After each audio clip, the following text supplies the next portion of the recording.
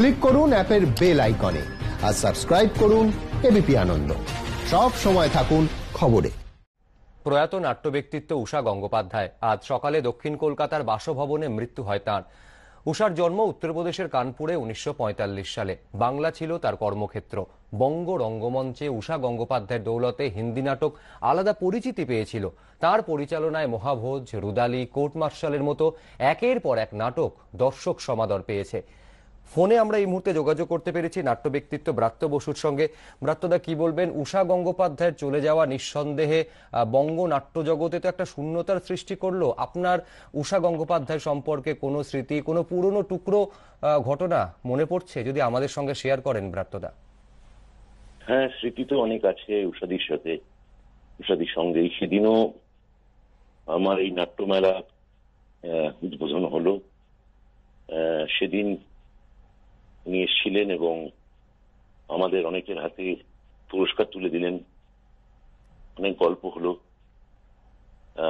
এবং তার থেকেও বড় কথা, আমি উষাদির একটা দীর্ঘ সাক্ষাৎকার নিয়েছিলাম একবার। সেখানে উষাদি তার নিজের জীবনের, তার নিজের থিয়েটার জীবনের অনেক কথা অকপটে আমাকে বলেছিলেন। উষাদির গাঙ্গুলি উষাদির, গাঙ্গুলি না বিবাহ উত্তর আপনারা অনেকেই জানেন। উষাদির নাম অ্যাকচুয়ালি হচ্ছে উষা পান্ডে ছ বছর বয়সে উনি কলকাতায় আসেন এবং তারপর এখানে কলকাতাতেই পড়াশোনা করেছেন। আরেক, তার আরেক মানে এক প্রখ্যাত রাজনৈতিক এবং আরেক অধ্যাপক সে কমল গাঙ্গুলিকে উনি বিবাহ করেন। সেই সূত্রে ওনার নাম বিবাহোত্তর সূত্রে উষা গাঙ্গুলি হয় এবং তার থিয়েটারের জীবন আমরা সকলেই জানি। কিন্তু উষাদির ক্ষেত্রে আমার মনে হয় বাংলা থিয়েটারে যেটা সব থেকে গুরুত্বপূর্ণ, সেটা হচ্ছে উষাদির আগেও যে কলকাতায় হিন্দি থিয়েটার হয়নি তা নয়। কিন্তু উষাদি যে থিয়েটারটা করেন, অর্থাৎ ওই মহাভোজ, ওই লোককথা, ওই হোলি, কোর্ট মার্শাল রুদালি, যেগুলো তার খুবই খুবই আরও অনেক অনেক আছে, অনেক গুরুত্বপূর্ণ যে প্রযোজনাগুলো, এইটা ঔষধি যে নিঃশব্দ কাণ্ডটা ঘটান, সেটা হচ্ছে যে আগে যে হিন্দি থিয়েটার হতো উষাদির আগে সেটা প্রধানত কলকাতা শহরের যারা হিন্দি ভাষী ওনাদের জন্য হতো। কিন্তু উষাদি প্রথম তিনি হিন্দি থিয়েটার করলেন এবং তিনি অবঙ্গভাষী এবং বঙ্গভাষী। এই দুয়ের জন্য বাংলা তার হিন্দি থিয়েটার উন্মুক্ত করলেন।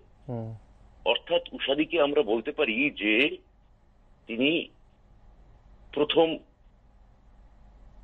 অবাঙালি এবং বাঙালি থিয়েটার করেছেন।